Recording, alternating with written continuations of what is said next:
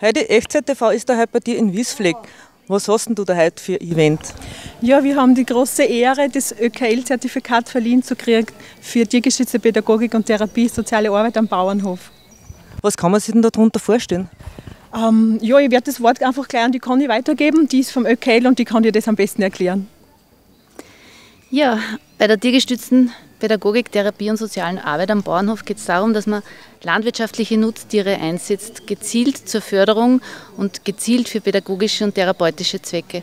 Das heißt letztendlich, man braucht mit seinem behinderten Kind nicht nach Florida fliegen zu einer Delfintherapie, die man sich nur einmal im Leben leisten kann und sowieso die Delfine schlecht gehalten werden. Nein, man kann das eben auch mit landwirtschaftlichen Nutztieren auf die Bauernhöfe in Österreich machen.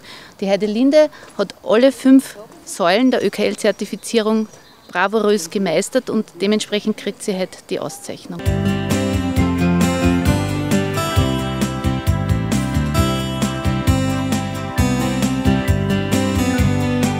Und wie wird das da in Österreich eigentlich angenommen? Weil alles, was ein bisschen neu ist, ist ja nicht so ganz einfach. Das stimmt, aber das Thema tiergestützte Therapie, das boomt und dementsprechend hat sich eben das ÖKL darum angenommen, dass man eben auch ein qualitativ hochwertiges Angebot, das man nach außen gut vertreten kann, am Bauernhof anbieten kann. Wenn man sich die Tiere bei Heidelinde Haller so ansieht, wie relaxed und beruhigend sie wirken, kann man sich gut vorstellen, wie tröstend sie erst für kranke Kinderseelen sein müssen.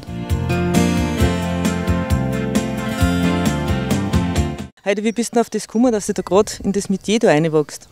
Ah, ja, durch unsere Kinder. Also die Elisa hat immer wieder Unterstützung braucht in verschiedensten Bereichen und die Tiere waren einfach ja, das heilsamste Mittel für sie. Sind wir drauf gekommen, dass die dann einfach wirklich wieder aus sich auszukommen und dass es ihr einfach gut geht. Und es hat sie einfach angeboten, sie da ja, weiterzubilden und aus dem Ganzen ist das Interesse und die Liebe dazu so gewachsen, dass ich gesagt habe, das möchte ich dann auch für andere zugänglich machen. Frau Landesrätin Verena Dunst würdigte ebenfalls Heidelinde Hallers Projekt und kam dafür extra nach Wiesfleck. Zahlreiche Besucher freuten sich mit Heidelinde und feierten mit ihr im Anschluss den Erhalt des Gütesiegels des ÖKL. Was ist denn das für Gefühl, wenn man sowas verliehen kriegt? Ja, als erster burgenländischer Betrieb ist man natürlich schon sehr stolz und ich muss auch sagen, ohne meine Family, also Unterstützung, ohne der Family hätte ich das eh nicht schaffen können und ja, bin einfach dankbar, dass wir wirklich das jetzt endlich dann umsetzen haben können.